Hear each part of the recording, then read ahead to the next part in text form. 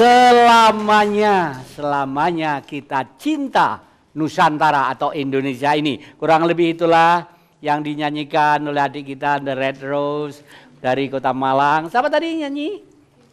Gepi, ya Gepi ya. Dan terima kasih pula penonton Dama TV yang kami muliakan. Kelihatannya yang kedua ini kita uh, masih kerjasama dengan Stikes Kededes untuk kegiatan kiprah jati ini karena memang dirasa kegiatan-kegiatan ini menambah paling tidak pengalaman, penghayatan, pengetahuan oleh siswa-siswa yang lagi belajar di Stikes Kededes di Kota Malang ini.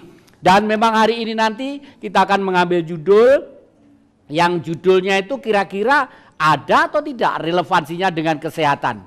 Sesuatu kehidupan tidak ada sesuatu yang tidak saling kait mengkait. Nah, padahal hari ini kita akan mengambil judul judul ini adalah uh, keragaman budaya Nusantara. Nah, saudara-saudara kami yang ada di Tuban, Lamongan, yang ada di Madiun, yang ada di Kediri, Kertosono, Tulungagung, Blitar, Trenggalek, Malang Raya, Jangan diabaikan, tolong duduk sejenak karena banyak bicara tentang budaya umumnya. Kurang paham apakah budaya itu. Nah adik-adik, budaya itu sebenarnya adalah harga mati. Artinya harga mati, suatu nilai budaya itu kadang-kadang ada yang sudah tidak mampu disempurnakan lagi. Saking sempurnanya. Ya biasanya yang sangat sempurna adalah yang mengandung nilai-nilai spiritualisme nilai-nilai ketuhanan. Kesimpulannya, budaya itu hanya bisa diukur tinggi dan rendahnya budaya. Biasanya para ahli filosof, ahli filsafat, atau budayawan-budayawan, nilai tinggi rendahnya budaya itu bisa diukur satu, seni, dua, baru ilmu. Seni dulu, baru ilmu. Jadi suatu kumpulan manusia atau manusia atau negara ya tinggi rendahnya budaya itu diukur dari sampai di mana tinggi rendah kemampuan pengetahuan tentang karya seninya. Baru ilmu karena ilmu belakangan. Setelah manusia itu berpikir maju bagaimana membuat satu sistematika kehidupan bercorak lagam kurikulum. Nah semua kegiatan ini terangkum dalam nilai budaya. Jadi budaya itu membawai politik membawai keagamaan, membawai perdagangan, membawai pergaulan macam-macam. Itu namanya budaya. Kalau kebudayaan itu berkembang, perkembangannya nilai setelah diimprovisasi oleh mereka masing-masing. Misalnya, hari ini saya memakai ini budaya batik. Budaya batik ini namanya adalah batik barong ya Barong ini adalah eh, pada waktu yang Sultan Agung Hanyokrokusumo menyerang Belanda di Batavia itu perang total, jalan kaki ya dari Ngayuk Jokarta dari daerah Jawa Tengah agak ke timur, jualan kaki belum ada mesin menuju ke Batavia supaya penjajah hengkang dari sini karena semakin kurang ajar terhadap leluhur dan nenek moyang dan eksploitasi terhadap bumi ini. Nah, ini lalu para seniman-seniman yang membatik mulai membuat satu batik namanya parang barong atau barong itu adalah ini gambaran uh, suatu kekuatan yang besar, parang itu perang. Jadi perang berani. Kalau di Bari di ketika katakan perang bubat. Gua habis-habisan, hidup atau mati. Wah, begitu loh. Yang hati. Nah, hari ini kita akan mengupas budaya. Kalaupun eh, ini jarit, lalu ada yang dibuat hem. Hem itu gaya Eropa. Artinya setelah batik menjadi hem, itu sudah bergerak menjadi kebudayaan. Keroncong budaya, batik budaya, gamelan budaya, ukulele apa yang itu tung tung yang kayak hawen itu budaya. Di Aceh yang kiri budaya. Artinya pada waktu menemukan pertama kali ada satu nilai-nilai ritual. Setelah itu dikembangkan menjadi kebudayaan gitu intinya. Nah hari ini kita akan membedah satu keragaman budaya Nusantara dan yang akan memulai membica mengutarakan ini yang pertama adalah Mas Karjo tepuk tangan Mas Karjo yang ada di sana. Beliau aktif di RRI Stasiun Malang. Yang kedua adalah Mas Doni, Mas Doni Uki Wijaya. Ya, silakan tepuk tangan. Hmm, beliau berdua mempunyai himpunan. Himpunan ini bergerak di bidang budaya Nusantara. Namanya adalah Debu Nusantara. Ini kalau dijawakan serem. Debu itu beletuk. Beletuk Nusantara. Wah, beletuk kalau di hutan anaknya gajah. Ya. Tapi di sini yang dimaksud debu. Artinya debu itu kan tidak pernah berhenti. Bergerak. Karena angin, angin ringan aja dia bergerak. Apalagi anginnya besar. Nah, yang mereka harapkan adalah Nusantara menjadi gegap gempita hidup seperti jamrut di katulistiwa ya. Silakan. Kita mulai saja dari Mas Doni. Idealisme cita-cita apa sampai mendirikan suatu paguyuban yang namanya Debu Nusantara tadi. Monggo. Oke, selamat sore sebelumnya. Saya Doni dari Debu Nusantara. Jadi eh, itikat awalnya sih ingin menceritakan tentang cerita-cerita rakyat yang ada di Nusantara. Jadi kita bikin Debu Nusantara. Eh, kita ingin mengumpulkan sebenarnya udah ada banyak yang eh, mengkoleksi untuk cerita rakyat. Tapi kita dengan konsep hari ini eh, kita ingin menampilkan dengan video. Jadi setiap pentuturnya, istilahnya pentutur atau penceritanya ini kita ambil dari eh, asli orangnya, Pak. Jadi asli dari cuma dari Lombok kita ambil dari saudara-saudara dari Lombok atau dari Papua atau dari eh, Bugis atau dari Kalimantan atau dari Jawa ataupun Sumatera kita videokan untuk itu. Jadi kita ingin tahu cerita rakyat dari Lombok seumpama. Dari Lombok eh, Lombok Barat ada cerita apa sih? Saya berpikiran eh, karena eh, teman-teman berpikir eh, masalah identitas itu sangat penting banget. Kalau kalau pernah berpengalaman pergi ke luar negeri pasti bertanya, kamu asli mana? Jangan jangan kan luar negeri. Kalau kita datang ke Indonesia, eh ke Malang ini untuk, untuk eh, bersekolah, kan kita beragam nih. Terus teman-teman pasti tanya, dari mana? Gitu. Ini sebuah identitas bagi saya. Terkadang hari ini eh, cerita-cerita rakyat itu eh, sudah luntur. Kita lebih mengenal kebudayaan Barat daripada kebudayaan lokal. dan Jepang Ya. Jadi akhirnya teman-teman bertanya, oke, saat saya orang Malang, paling nggak saya tahu cerita rakyat Malang dah, selain Ken Arok dan Ken Dedes mungkin. Ini legenda dari cerita-cerita mitologinya, terus cerita dongengnya, kan banyak banget. Nah ini sebuah identitas. Saat saya pergi ke Lombok, saya akan bertanya, di Lombok ada cerita rakyat apa ya? Kok menarik ya? Kayak itu. Jadi kayak cerita oh, Datuk Beringo mungkin. Oh, ternyata simbol-simbol penguasa, orang yang menguasai ilmu mung gedemung, atau orang yang menguasai ilmu kalau bahasanya itu kun fayakun itu yang terjadi langsung terjadi. Tapi bahasa lomboknya mung gedemung. Jadi mereka bisa bikin wow keren banget. Ternyata simbolnya dan simbol-simbol penguasa bukan pemimpin. Di lombok barat udah dibahas terus di Flores di Flores juga ada cerita seperti itu. Hampir semua di Nusantara itu menariknya garis kita itu sama. Cuma beda dari pembahasan kita beda beda dari kebudayaan kita dari baju rumah dan semua kalau ditarik secara filosofis saya pikir sama. Cuma cara penyampaian atau cara dari pola makan kehidupan kita yang berbeda.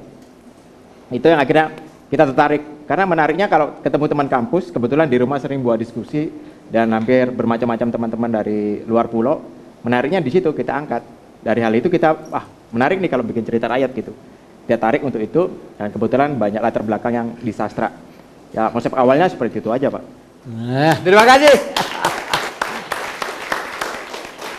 Kalau kita dengarkan cerita Mas Doni tadi itu ada suatu kesimpulan di dalam benak kita. Itulah Nusantara. Indonesia yang terdiri dari 17.000 pulau kurang lebih dan kurang lebih 400 bahasa dan suku. Memang bercorak ragam. Tapi, tapi ternyata memang itu kekuatan. Kalau begitu budaya Indonesia itu apa? Karena menurut Mas Doni tadi itu eh, budaya ini dimiliki oleh rakyat rakyat tradisional, kearifan lokal. Jadi kesimpulannya, budaya nasional Indonesia adalah budaya yang dimiliki oleh mereka yang ada di daerah masing-masing adalah milik Indonesia. Oleh karena itu, di Indonesia sudah diikat menjadi satu budaya yang disetujui oleh warga negara. Apa itu? Bahwa merah putih adalah benderaku, bahwa Garuda Pancasila adalah lambang negaraku, bahwa Pancasila adalah fondamen dasar bangsaku. Lah, akhirnya budaya itu dihimpun seperti ini. Nah, sekarang ke eh, Mas Karjo ini, saya panggil Mas. Beliau itu masih muda-muda semua, tapi cita-citanya melampaui jauh melangkah dari yang tua-tua. Mas Karjo, selama bersamaan dengan adik-adik eh, berjuang dalam debu Nusantara ini ada pengalaman-pengalaman apa dan timbul pikiran-pikiran baru apa supaya cita-cita ini tersampai atau sampai dengan suasana yang seperti ini. Oke, Terima kasih Rayu. Rayu. Ya, perkenalkan nama saya tadi sudah disampaikan Karjo. Karjo ini sebenarnya ada singkatan dulunya. Jadi KARDJO, konservasi asli rakyat di luar jalur organisasi. Nah, jadi konservasi ya, to conserve artinya untuk menghemat. Ya, jadi saya ini ibaratnya orang yang lagi bayar hutang. Ya, saya punya hutang yang cukup banyak terhadap alam saya hutang, terhadap orang tua saya hutang, terhadap anda semua pun saya berhutang. Maka salah satu cara saya membayar hutang adalah bergiat bersama Mas Doni ya, saya sebutnya Bung Doni ya. Eh, dari bekal yang saya terima waktu saya masih kecil, saya sering mendapat cerita, dongeng sebelum tidur, itulah yang membentuk karakter. Setelah bertahun-tahun tahun kemudian, ada kesempatan untuk muncul, maka saya akan mencoba, saya berpikir, ini sudah saatnya saya bayar hutang, ya. saya harus bayar hutang. Saya harus melakukan sesuatu. Paling tidak saya punya satu kebanggaan yang bisa saya sampaikan kepada anak cucu saya besok bahwa saya sudah pernah berbuat sesuatu. Nah, yang utamanya adalah saya awali kegiatan saya itu dari hutan. Kenapa dari hutan? E, dari pelajaran antropologi mungkin gitu ya, kita tahu bahwa ada bukti-bukti sejarah bahwa dulu manusia hidupnya di hutan, kemudian berkumpul membentuk satu kampung, kemudian membentuk satu kota, satu negara. Nah, ternyata memang benar. Di situ saya banyak belajar. Banyak sekali hal-hal yang dapat kita pelajari, terutama tentang kehidupan di dalam hutan, apa saja yang ada di dalam hutan. Dan sampai sekarang banyak dongeng yang umurnya sudah ribuan tahun berasal dari cerita binatang yang biasa disebut dengan fabel. ya. Maka dari itu uh, atribut yang saya pakai pun sebenarnya mencerminkan apa yang sedang saya lakukan. Kalau yang saya pakai ini namanya udeng, ya, yang kurang, yang dalam pemikiran saya, saya harus mudeng, saya harus mengerti. Mengerti tentang apa? Mengerti tentang hewan yang sedang saya bantu lestarikan di hutan, yang namanya adalah budeng. Jadi deng deng deng, nah udah lebih lebih mudah ya untuk untuk menyemangati. Nah itu juga yang uh, membuat saya berpikir terus bagaimana saya menyampaikan, bagaimana saya mensosialisasikan, bagaimana ini bisa uh, melekat, juga melalui budaya yang sudah mulai ditinggalkan tadi. Jadi budaya bercerita, bertutur, mendongeng, yang saya yakin itu akan sangat kuat sekali efeknya, terutama untuk menjaga pelestarian budaya juga. Iya, terima kasih. Unik ya, adik-adik dan yang saya cintai, Mas Karjo tadi itu, pengen kembali ke awal. Mungkin sudah jenuh melihat kehidupan ini. Manusia semakin lama semakin kejam, semakin galak.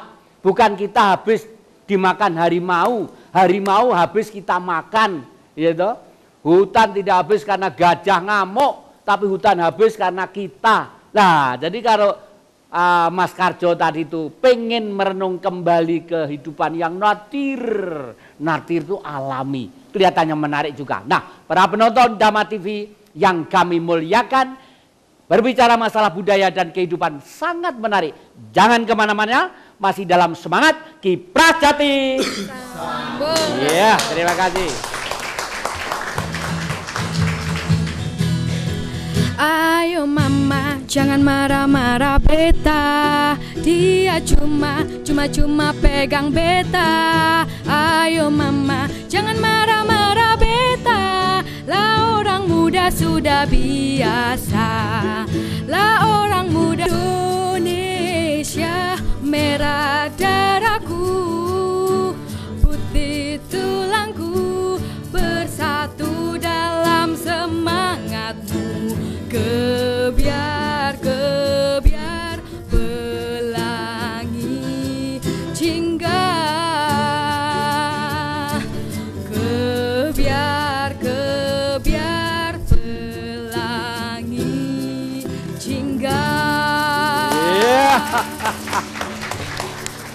Terima kasih adik-adik yang selalu setia dengan Kiprah Jati, The Red Rose from Malang City.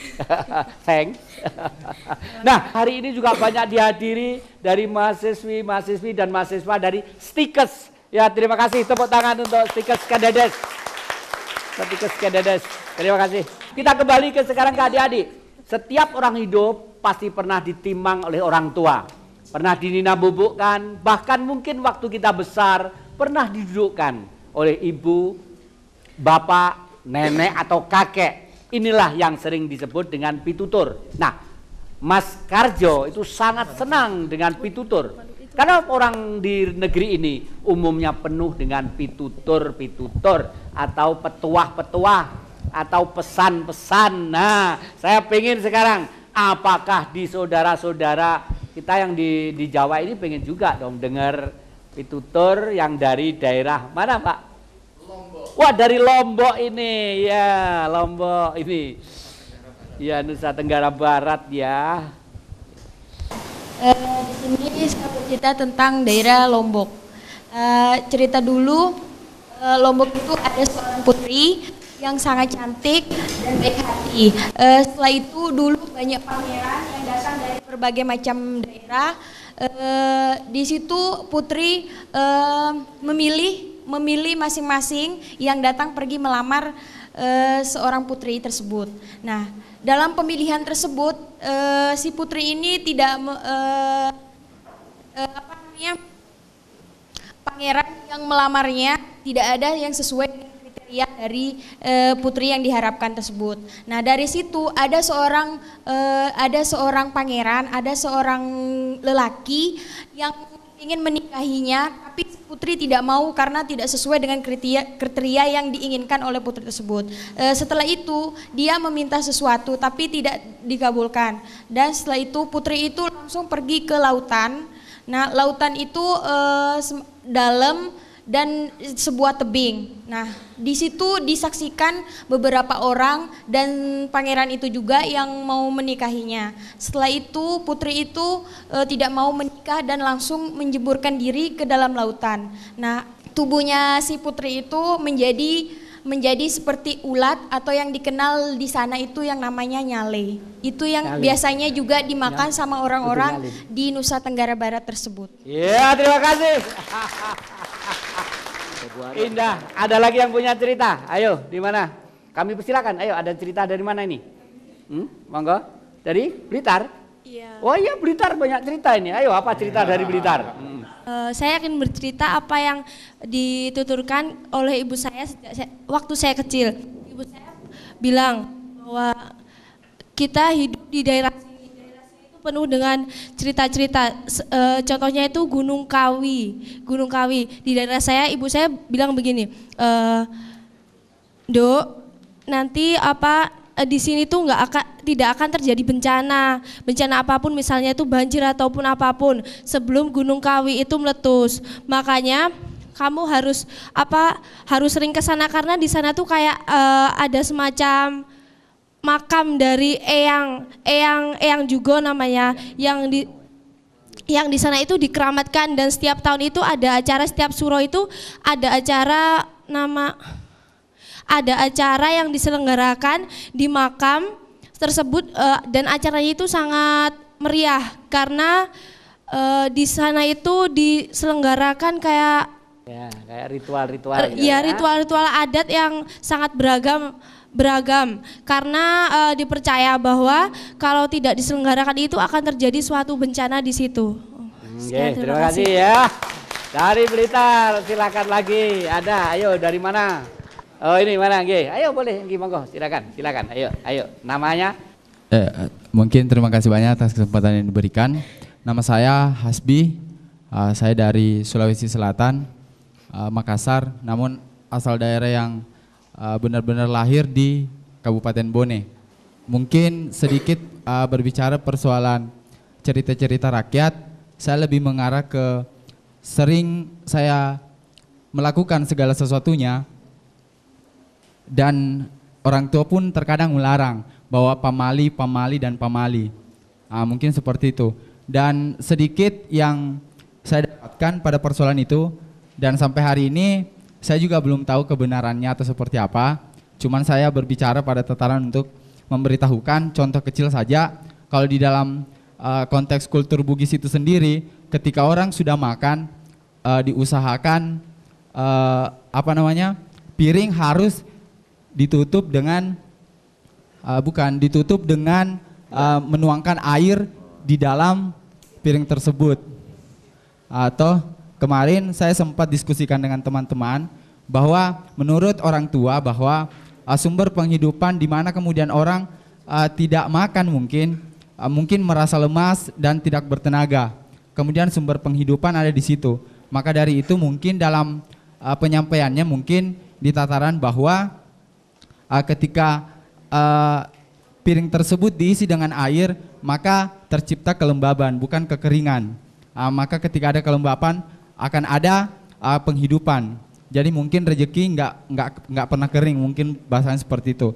Uh, tetapi saya dengan teman-teman yang lain sedikit uh, mendiskusikan pada persoalan itu bahwa ketika orang sudah makan dan nasi yang melengket di di dalam piring tersebut kan terkadang uh, agak agak keras kan, mungkin udah kering, jadi mungkin agak susah di dicuci.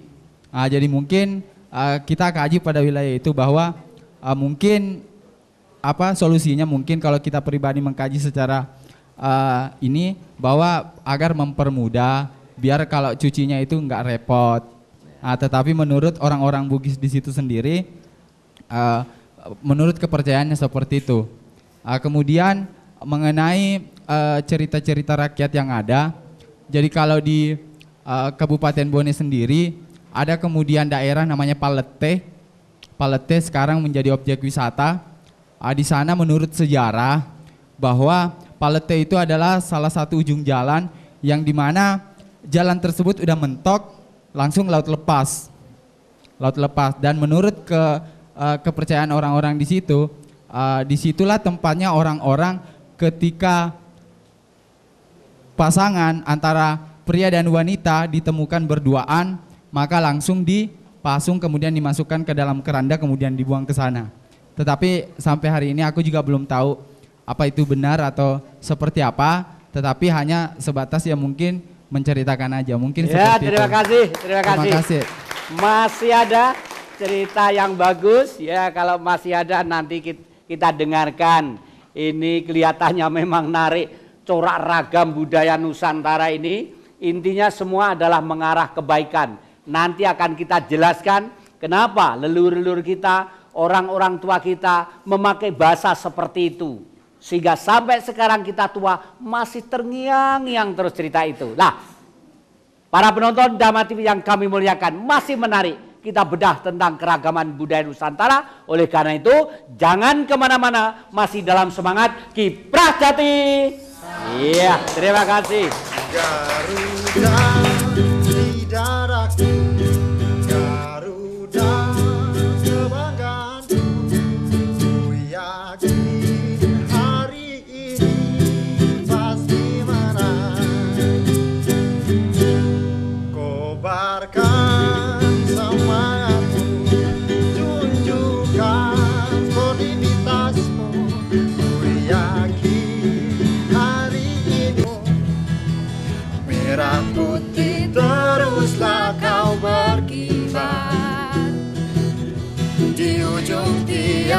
tertinggi Di Indonesiaku ini.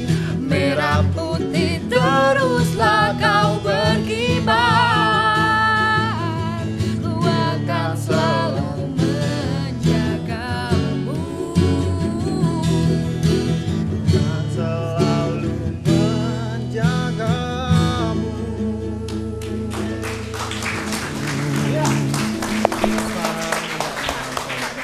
Dari cerita-cerita tadi itu memang sangat menarik. Intinya adalah supaya cerita itu tertanam dalam sanubari dalam waktu yang berkepanjangan. Itulah suatu kearifan, suatu budi pekerti, suatu keluhu- keluhuran dari generasi terdahulu kepada yang muda-muda. Kita ingin mendengarkan komentar dari Mas Doni sama Pak Karjo. Mas Doni dulu kami persilahkan.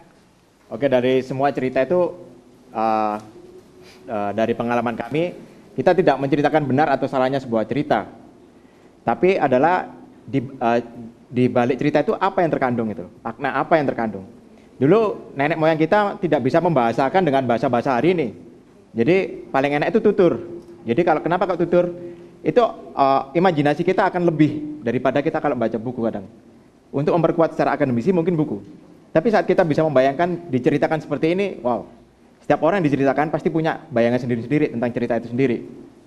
Contoh seperti Putri Nyali yang itu legenda Pak ya. Jadi seperti uh, kalau bulan Februari, bulan purnama di Lombok itu pasti ada uh, acara dalam setahun sekali di Lombok Barat itu pasti ada cerita Putri Nyale karena mereka pesta cacing, cacing laut yang cerita itu sebenarnya dibikin oleh rakyat sana untuk merayakan karena cacing itu adanya hanya di bulan Februari. Itu aja. Dan dikembangkan oleh nenek moyang kita. Itu itu Putri Nyale. Terus kalau yang di Gunung Kawi mungkin banyak yang beredar cerita seperti itu juga. Dan kalau yang di Bugis, Pamali, kata Pamali sendiri kadang-kadang ya semua orang pasti ngerti Pamali. Jadi apa sih kalau dulu kalau kita dilarang salah gitu pasti berontak. Namanya anak kecil, kita remaja atau dewasa pasti berontak. Tapi orang dulu ngasih uh, pamali itu ternyata seperti dikasih uh, apa namanya pengertian itu ntar di masa depan, seperti investasi pemikiran gitu. Jadi cerita-cerita rakyat itu sebenarnya seperti itu intinya. Jadi kalau kita ngomong benar atau salah itu ter- relatif banget. Jadi tergantung kita yang memaknai proses pendewasaan kita, proses belajar hidup kita gitu. Nah, saya sekarang tanya kepada Mas Doni. Iya. Mas Doni kan generasi muda, tapi yang sangat tekun mengamati tentang cerita, terlebih tutur dan sebagainya. Menurut Mas Doni yang hidup di alam Android digital yang sudah Word 8 ini, ya. 8 Word. Jadi Pentium 4 sudah masuk gudang. Ya. ini apa relev apa masih penting kira-kira cerita itu di alam modern ini? Oke, bagi saya di dunia ini nggak ada yang modern. Bagi saya ini perspektif ya. Jadi bagi saya modern itu pola berpikir kita, bukan kebutuhan kita. Kebutuhan itu saat eh, kita membutuhkan sesuatu, anggap saya, anggap saya, eh, saya nggak butuh suatu merek HP tertentu yang paling canggih. Tapi ya saya butuh ini aja untuk komunikasi dan SMS. Tapi kalau sangat canggih banget, saya nggak butuh dan buang-buang waktu. Ternyata eh, teknologi hari ini tidak seimbang dengan kebutuhan hidup kita kadang-kadang. Jadi secerdas-cerdas kita. Jadi hari ini yang terjadi adalah konsumtif itu aja. Dan kenapa ada cerita rakyat? Kupikir kalau eh, mas-mas atau mbak-mbak yang ada di sini tuh kalau melihat eh, film-film di luar itu ceritanya mesti masih cerita lama kan? Anggap aja film Thor gitu kan? Itu yang cerita orang mitologi juga. Kembali ke legenda Iya, lama. legenda lagi. Lord of the Ring itu legendanya orang Eropa Timur. Cuma yang dikemas ulang. Bangsa kita kehilangan itu sekarang. Makanya saya kenapa ngomong ini karena kita kehilangan identitas sebagai bangsa hari ini. Kita nggak mengenal diri kita masing-masing. Contoh paling simpel, makanan setempat atau uh, baju yang sampean pakai dari kebudayaan. Itu bukan kuno bagi saya. Kuno itu nggak ada. Kalau kuno manusia kuno dong nggak gitu. Harusnya kita punya tanduk hari ini mungkin atau punya siung itu kan jadi modern gitu kan. Iya. Yang berubah adalah pola berpikir. Lah kenapa saya ambil dari cerita rakyat? Karena harusnya itu investasi kita. Karena nggak cerita rakyat nggak semudah yang orang bayangkan. Itu banyak rahasia yang terkandung. Alam dijaga karena cerita rakyat. Kenapa pohon itu nggak boleh dipotong? Pamali, karena di situ sumber mata air. Dan orang setempat, kecenderungan masyarakat kita adalah selalu mencangkralkan segala sesuatu. Padahal kalau kita pikir analisa secara, secara bagus, secara logis, oke deh, kenapa sih nggak boleh dipotong? Eh, ternyata tempatnya sumber mata air. Seandainya pohon dihabiskan seperti hari ini, ya kita akan minum air di mana? Iya, terima kasih. Mas Karjo, ceritanya Mas Doni itu ternyata meluas menjadi kepentingan nasional. Lah, Iya. sekarang kaitannya dengan budaya dan perlindungan nasional sebagai ekosistem itu kira-kira relevansinya di mana? Wah, luar biasa itu ndak ada istilahnya itu. Kalau bahasanya bahasa Jawanya itu renggang gula mau pure pulut. Jadi renggangnya itu seperti gula. Bahkan kalau ditabur pun akan lengket seperti perekat. Jadi bisa dibilang tidak lepas. Artinya begini. Saya dulu waktu saya ingat betul ya, saya kelahiran tahun 66, waktu itu saya masuk TK pertama kali karena rasa berdebar-debar besoknya mau sekolah nervous ya sama nenek saya itu hanya dikasih cerita satu dan ceritanya pendek banget. Le kamu tahu itu pohon kelapa tinggi? Oh iya mbah. Saya bilang mak waktu itu. Saya bilang iya mak. Besok kalau sudah gede jangan kamu tebang pohon. Karena kalau kamu tebang pohon langit akan runtuh menimpa kamu. Cuman itu. Itu membuat saya berpikir. Bertahun-tahun kemudian sampai sekarang baru tahun kemarin 2011 maaf nunjuknya ke sini. Di tahun 2011 kemarin ada berita yang sudah tersebar di media massa ya. Negara kita NKRI menerima uang sejumlah 1 juta US dollar. Yaitu nolnya berapa itu kira-kira? Nah dari siapa? Dari pemerintah Norwegia. Kenapa mesti Norwegia yang kasih uang sama kita Kenapa Norwegia bukan- itu hampir di kutub utara Oh, ya. Dekat utara sana, dekat Hmm. kutub utara. Nah, kalau kita mau sedikit eh, apa ya, membuka pikiran ya, berhubungan dengan cerita yang diceritakan nenek saya dulu. Sekarang trennya katanya isunya global warming ya. Ini global warming apa gombal warming ya. Ya. Jadi kalau global warming ya, pemanasan bumi yang selalu meningkat ini karena efek rumah kaca dan sebagainya, yang salah satu penyebabnya adalah penggundulan hutan. Kenapa justru orang Norwegia yang peduli? Karena logikanya begini, Sewu, Norwegia dekat dengan kutub. Kalau suhu bumi ini meningkat, ketika es di kutub mencair, yang kebanjiran dulu mereka. Saya yang berpuluh-puluh tahun lalu diceritani sama nenek saya belum ngeh, belum paham banget. Ternyata orang Norwegia sudah sadar bahwa kalau menebang pohon, maka langit akan runtuh menimpa kita. Jadi intinya saya sepakat sekali, setuju sekali bahwa eh, budaya tutur untuk menyampaikan pesan-pesan moral, utamanya untuk untuk bukan hanya pelestarian lingkungan sebenarnya, ya eh, untuk keselamatan kita semua sangat penting sekali dan sangat berkaitan sekali itu. Iya, terima kasih. Memang begitu bijak ya orang tua kita. Meskipun beliau itu kadang-kadang jangankan kok sekolah, kadang-kadang nulis saja nggak bisa. Kita dilahirkan orang tua yang dulu ya saya ya generasi saya mungkin banyak orang tua-tua yang membaca aja nggak bisa. Waktu kita merdeka masih banyak yang buta huruf, ya banyak yang belum sekolah, banyak yang tidak bisa membaca surat kabar ini huruf apa kok kayak cacing ini misalnya ya.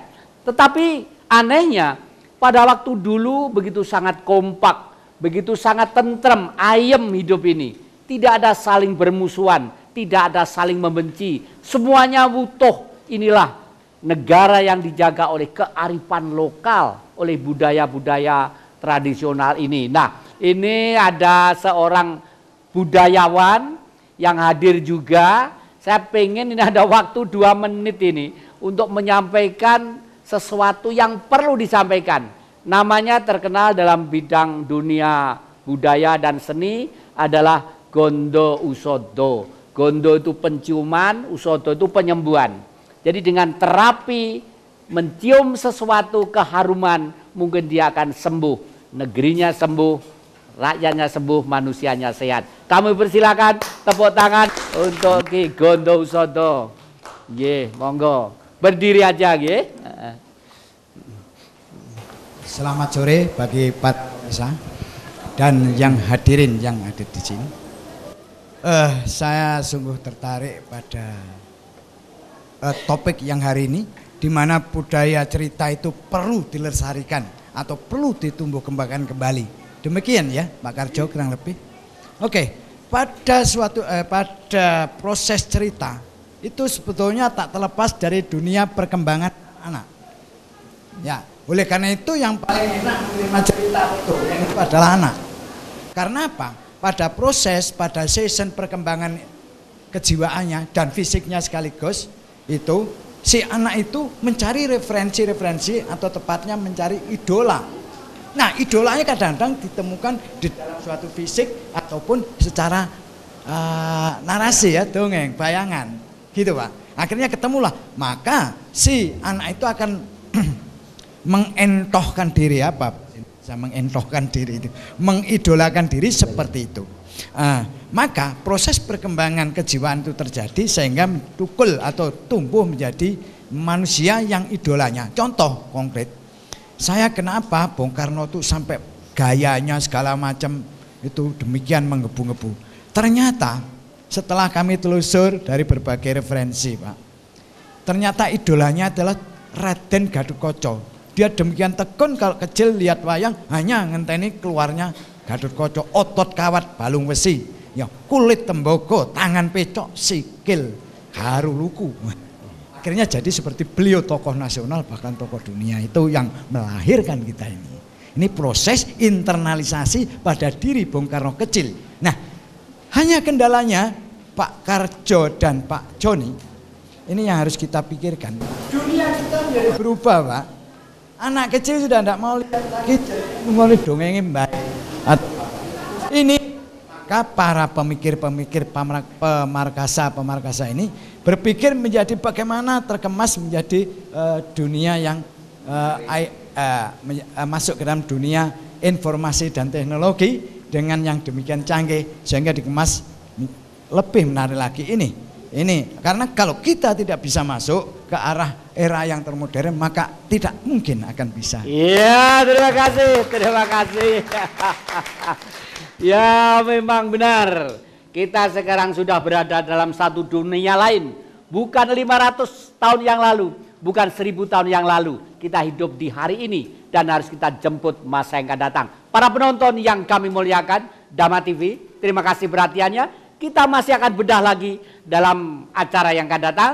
Oleh karena itu, masihlah tetap di Dama TV Kiprah Jati ini dengan semangat Kiprah Jati. Iya, terima kasih. Beta rindu memulangnya Sio mama Beta sulia Kurus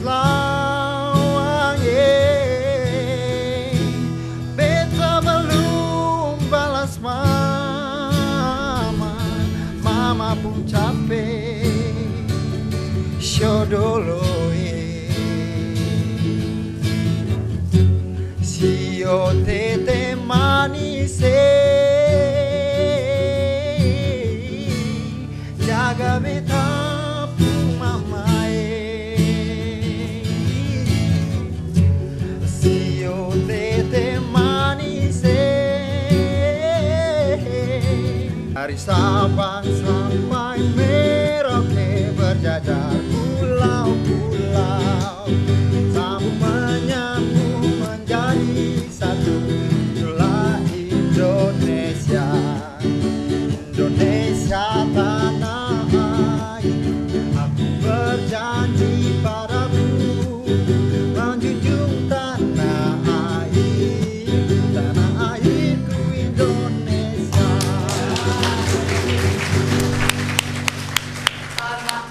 Airku Indonesia memang begitu indah, mempesona, dan memberikan semua apa yang aku minta. Itulah kemurahan dari Sang Maha Pencipta terhadap kita bangsa Nusantara. Nah, bicara masalah tanah dan air, ini ada seorang tokoh pemuda yang sering mengelalang ke hutan-hutan, ke gunung-gunung. Saya pengen komentarnya antara alam dan kearifan lokal. Monggo, ada waktu dua menit, kami persilakan. Iya.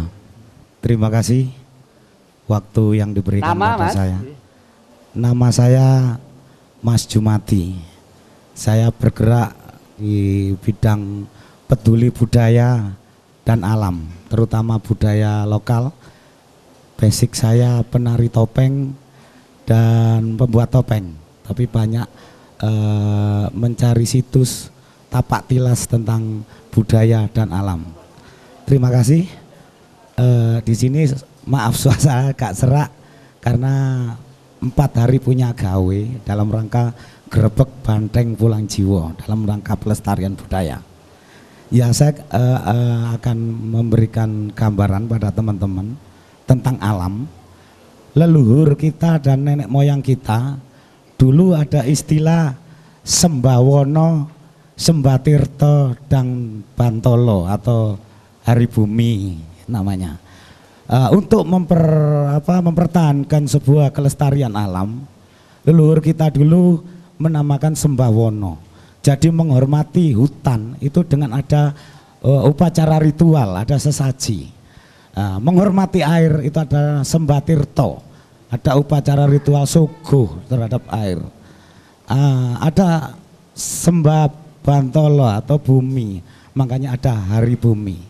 Makanya orang dulu kalau anaknya mau masuk hutan, ojo le, ojo mlebu alas. Alas iku alas gong lewang lewung. Lek kon mlebu sore isuk mati, lek mlebu isuk sore mati. Artinya apa? Itu adalah sebuah untuk mempertahankan supaya di hutan itu tidak ditebang. Bahasanya cuma bahasa sastra. Nah, itu. Terus dari itu juga tentang air. Biasanya di air itu ada namanya punden. Punden itu da- dalam istilah pepundi, pepundian atau hormat. Ternyata di punden itu eh, tumbuh beringin besar. Beringin besar adalah karena apa?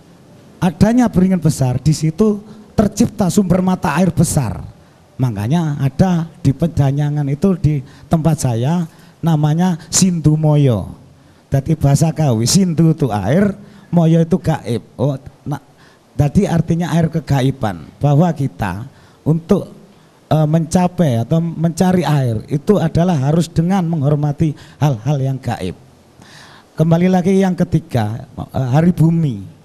Makanya eh, atau Bantolo bahwa kita itu berpijak dari bumi. Makanya ada hari bumi. Kalau dulu hormatilah Ibu Pertiwi. Ya, terima kasih. Ya, terima kasih.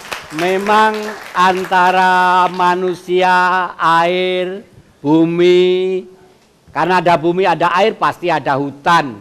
Dan hutan itu menjanjikan, ya sekarang tugas kita adalah menjaga hutan kita yang semakin lama semakin menipis.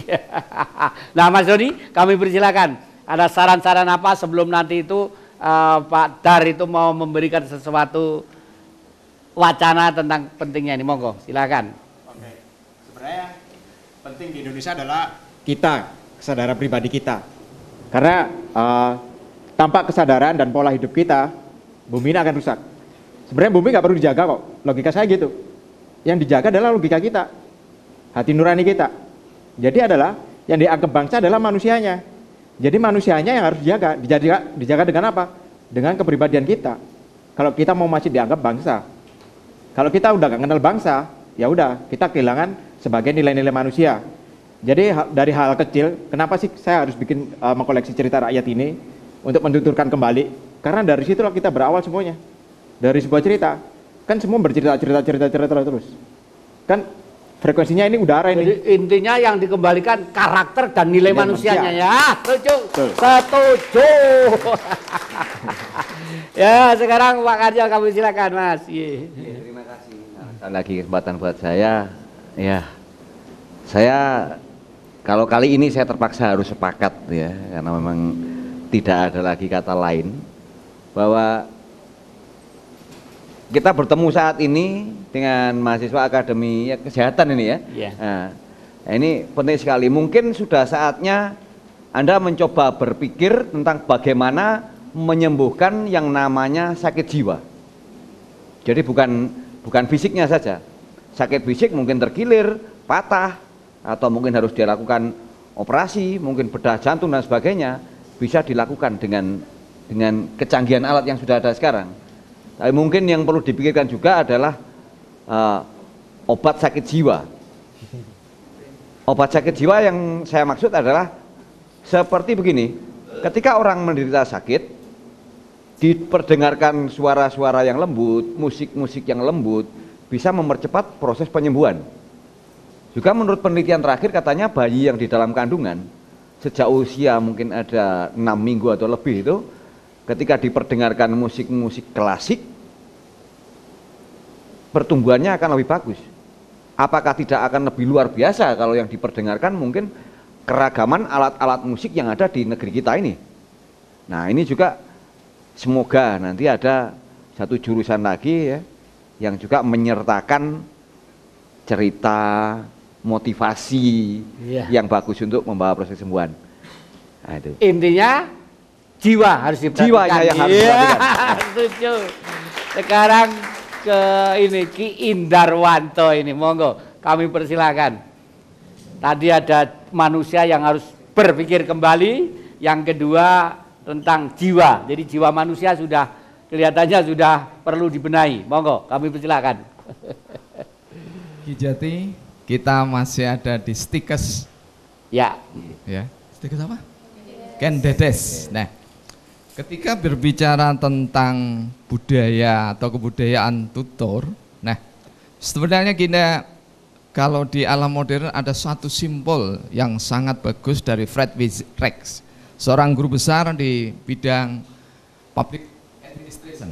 Itu menyimpulkan bahwa di dunia ini tidak ada komunitas atau masyarakat yang sangat modern tanpa unsur tradisional, tetapi tidak ada satupun masyarakat yang sangat tradisional tanpa sentuhan modernisasi.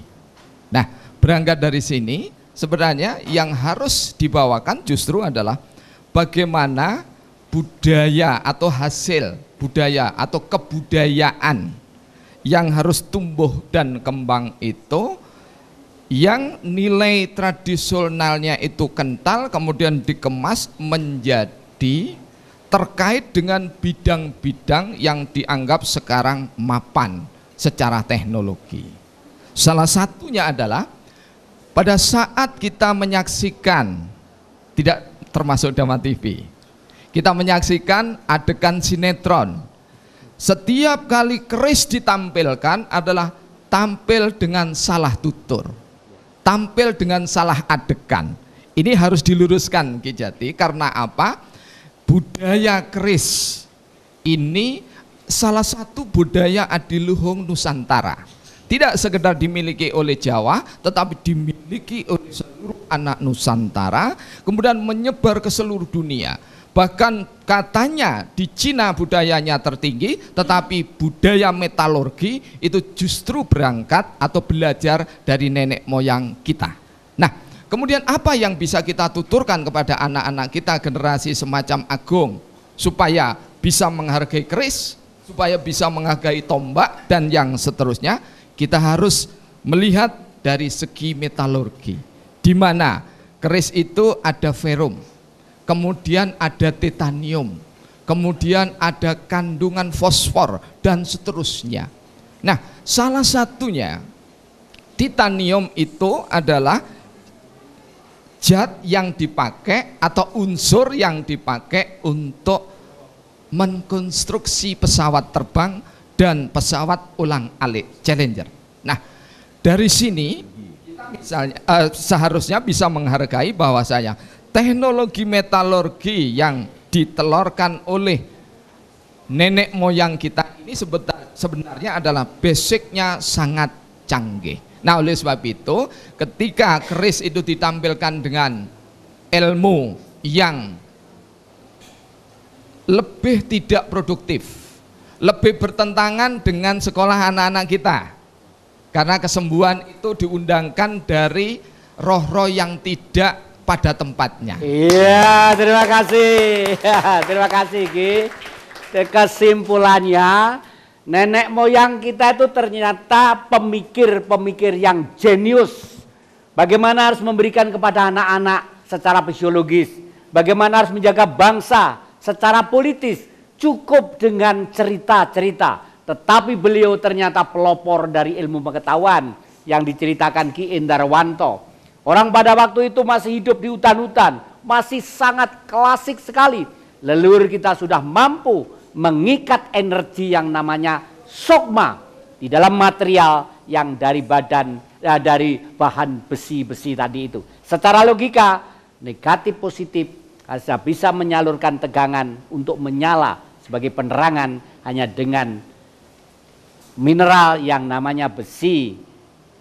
Kalau besi bisa karatan diganti tembaga supaya tidak gampang karat. Nah, leluhur kita adalah pelopor. Oleh karena itu kita hari ini sudah membedah ke semuanya dan kelihatannya Ki Indarwanto tadi itu memancing Dama TV dan kita suatu saat Kiprah Jati akan bicara tentang keris dan pusaka-pusaka leluhur yang begitu sangat hebat yang tidak mampu dibuat oleh bangsa lain.